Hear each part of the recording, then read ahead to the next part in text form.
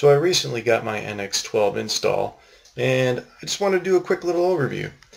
You can see that uh, a lot of customizations for icons. This is uh, not out of the box, but this is the way I like to look at it. A lot of neat things going on here. You can see now we have uh, little tabs at the top of the screen for your various parts. So if I go in there and say uh, File New, create a new part, and you can see there's my Model 1, there's my Model 2. If I create a sketch, select OK, and we'll go like this. Finish that sketch. Do a quick extrude. Now if I switch back over to Model 1, you can see it is a completely different model. Quick switching between these files is really nice. You can see I also have a little highlight. So I'm going to go ahead and make another sketch. And uh, let's just do another rectangle. We'll go on this side. Finish that. Do another extrusion. Select OK. And as you can see, beautiful. Um, if I double click on this, pretty much everything works the same as it did before. Again, I have some customizations on mine that uh, you probably won't have out of the box. But uh, if I go back into the sketch, you can see I have uh, these dimensions in here. Then uh, the, the look of the dimension is different. The way they uh, act is basically the same. It's kind of nice. So for this, uh, let's say 10. And for this, I'll go 5. And as you go through and you add the constraints, auto constraints basically work the same. Um, something else that I really like about uh, what they've done with the sketch is uh, once I enter into the task, sketch task environment, let me go in and say, there we go, you have a new uh, relationship browser. This was introduced in 11 but uh, I really like it. I haven't had a chance to talk about it. Uh, this is the show remove constraints. It's nice because you can really see how things are basically put together. And then I can come over the top of that constraint and see the two lines that it's associated with out here. And then I can also right mouse click on that. I can say browse to. Shows me just that independent uh, constraint. I can delete the constraint if I want.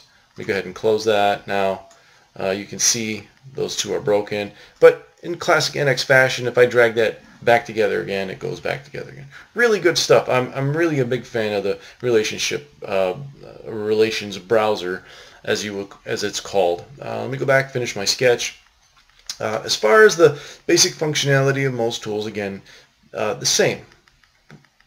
Okay, there's my other part. Let me go ahead and change the color of this and uh, that way we can differentiate the two. There we go. Now I'm going to go into my assemblies and for this I'm just going to simply go, uh, let's see, do I want to create a new or create a new parent? Let me create a new parent and select OK. So now that's in there. I'm going to add a component. I'm going to add that in and uh, just say absolute. Just say WCS. Select OK. So now there's my component. So working quickly is really nice. Another thing that you can do um, with your windows is you have different configurations. So maybe I want to see uh, tab groups. If I do something like that, you'll see um, there's my assembly, there's my Model 1. If I come back in and I say uh, three tab groups, there's my Model 1, Model 2, here's my assembly. So this kind of thing is really, really nice. What's also great about this is if I come over here in this window and I start working, you'll notice that at the assembly level over here, it's showing me what's going on. So once I select OK, there it is. So it's nice. It shows you right over here, Model 2 in part assembly is my work part.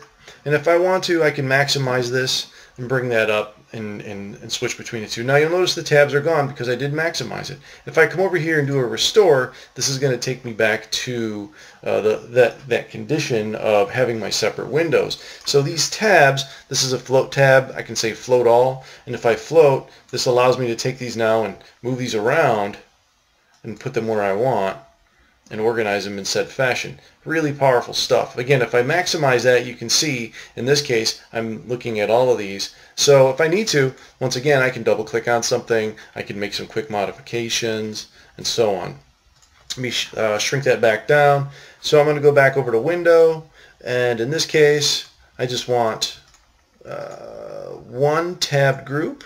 Actually, let me reset my layout. So bring that back in. And these tabs are nice because you can organize them the way that you want. Um, other things that I really like, interface changes, I think are absolutely brilliant. So if I want to do uh, a fit, if I come into an area where there's dead space, and double click with my first mouse button, you'll see it fits the part in. Another thing that I'm very happy about, I'm really excited about this because it makes life a lot easier. If I come in here and pick something, in the olden days if I wanted to deselect it, I'd have to hit the escape key or hold the shift key and deselect it. Now, if I just click out in space, single click, it deselects everything. So some of these uh, user interfaces that they've uh, changed in NX12 I think really, really do a nice job. Um, and again, uh, this user interface that I have set up, this is my own thing that I've done. I've got my make current feature. I've got all the stuff that I have in here that I like, just the way that I like. You could do this in uh, previous versions. This is the slim ribbon style. So again, that's a previous version tool that you have uh, uh, full capabilities of. Now, if I right mouse click in this, you still have all the same things that you had before. You have the make timestamp order. Turn that off. You can see the body. You have your cameras and model view and all the analysis and stuff appears in here as it once did before.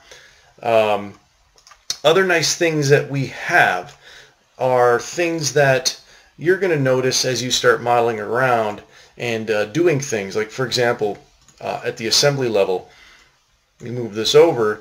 If I uh, double click on that assembly, same, same sort of interactions. If I right mouse click on the assembly, update my structure, I can do hide, hide show, show only. I've got my properties. So all of this stuff is still there. The menus themselves, again, the way that I have it set up, you can see it's a bit more obvious. The, the, the larger icons, easier to see. Everything is uh, iconized and uh, you got all your labels there. Um, you still have all your first mouse button functionalities. Uh, information window um, again, in 11, let me bring this onto my screen.